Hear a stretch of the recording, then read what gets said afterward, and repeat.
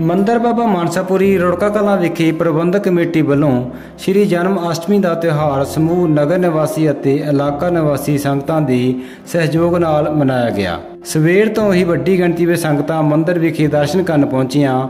ਸ਼ਾਮ ਨੂੰ ਮੰਦਰ ਵਿਖੇ ਵਿਸ਼ੇਸ਼ ਸਮਾਗਮ ਕੀਤੇ ਗਏ। ਇਸ ਮੌਕੇ ਤੇ ਪੂਰੇ ਮੰਦਰ ਨੂੰ ਲਾਈਟਾਂ ਨਾਲ ਸਜਾਇਆ ਗਿਆ ਸੀ। ਇਸ ਵਿੱਚ ਰੁੜਕਾ ਕਲਾਂ ਦੀ ਇਸਤਰੀ satsang ਸਭਾ ਮੰਦਰ ਬਾਬਾ ਮਾਨਸਾਪੁਰੀ ਵੱਲੋਂ ਭਜਨ ਗਾਏ ਗਏ। ਉਪਰੰਤ ਨਾਮਵਰ ਭਜਨ ਪਾਰਟੀਆਂ ਵੱਲੋਂ ਭਜਨਾਂ ਦਾ ਗੁਣਗਾਨ ਕੀਤਾ ਗਿਆ। ਇਸ ਮੌਕੇ ਤੇ ਲੰਗਰਾਂ ਦਾ ਵਿਸ਼ੇਸ਼ ਪ੍ਰਬੰਧ ਕੀਤਾ ਗਿਆ ਸੀ।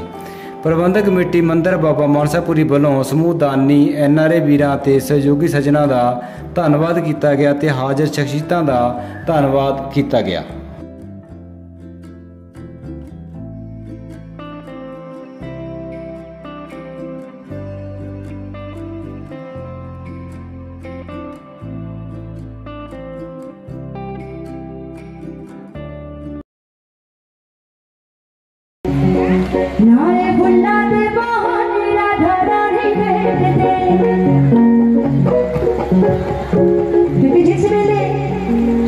बिहारीलाल जी माँ पे शोधा निबंध कर देता कमरे दे के तेरे तड़ा में वो तांदे पे बाकी बिहारीलाल जी ने हमने किता के एक मालन का वेश बना लिया, फुलों की टोकरी, रंग बिरंगे फुल के राधा रानी